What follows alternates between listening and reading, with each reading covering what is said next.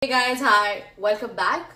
So today we will talk about idioms. I know a lot of you love to use idioms. It's great to use one or two appropriate ones in your IELTS writing section or speaking section. Please be careful that you use them in the relevant area. Okay, so let's talk about idioms. I'm going to tell you some interesting hand-picked idioms which you can use in your daily walk of life, in your IELTS exams as well, in job interview or pretty much anywhere.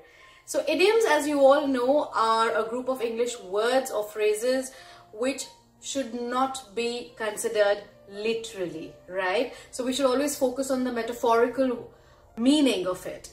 So what message does it convey or what is the correct usage of that phrase is where the focus should be rather than the actual words in that phrase. Let me give you a quick example. So it's raining cats and dogs. It does not mean that cats and dogs are falling from the sky. It means that it's raining heavily. It's raining cats and dogs. It's raining heavily. Let's see the next idiom high as a kite. It does not mean that you are actually flying high in the sky. It means that you are on drugs or you are actually sensing the feeling of it. So you are high as a kite. The next idiom is over the moon. I'm sure you've heard this before. Over the moon. It basically means overjoyed, thrilled, really happy. So when would you be over the moon? I was over the moon when I got eight bands in English speaking test. Or I was over the moon after securing that job. Over the moon. Right? So let's move on to the next idiom. A drop in the ocean. It means a very tiny bit of something really big. So there's an ocean and a drop in it. A drop in the ocean. Just learning these idioms is like a drop in the ocean when it comes to preparing for your IELTS test. Okay, so a drop in the ocean. So let's see the next idiom. Put all your eggs into one basket. It basically means putting all your efforts, energy, everything you have into just one particular thing. Put all your eggs into one basket. Do not put all your eggs into one basket, but apply for multiple universities. Right? It means just don't apply for one. Don't put all your energy, effort and money for one. In fact, apply for multiple, spread it across. Put all your eggs in one basket.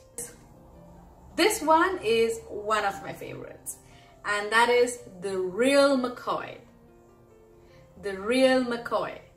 It means something which is genuine, which is not fake, actual, original, genuine, as I said, the real McCoy. These pearls are the real McCoy. This means these are genuine, right? So try using this from now on, the real McCoy. Let me know what sentences can you make with this. The next idiom is run of the mill. Run of the mill. It means quite ordinary, average. The sentence would be smartphones are really run of the mill these days. Don't you think so? Let me know. The next idiom is down in the dumps. It means to be really sad, grieved. I was down in the dumps when my dog died. So down in the dumps, to be sad. The next idiom is go the extra mile. It means to do something much more than is required. Go the extra mile. She decided to go the extra mile and learn swimming in order to teach her son. Go the extra mile. Well, the next idiom is a hot potato. Hot potato. It means something which is controversial, topics related to politics are hot potatoes in my nation these days. Well, that's all my dear. So I have covered multiple idioms. Please have a look at it, learn from it. And yes, I have made a playlist with numerous other idioms. Yes, the videos which I've done on the other idioms, it's right here. You can click this playlist and see all the videos, learn more idioms and increase your vocabulary bank. That's all. Like, share, subscribe and comment. You are my rockstar and you will be a champion soon.